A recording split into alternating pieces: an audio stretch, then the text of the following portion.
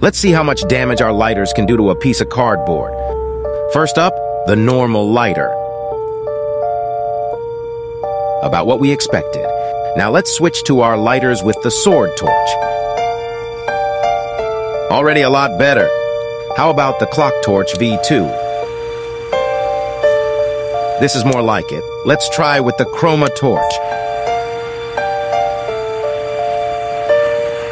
The chroma torch never fails us, but let's try with the big boy, the flame saber. Who wins?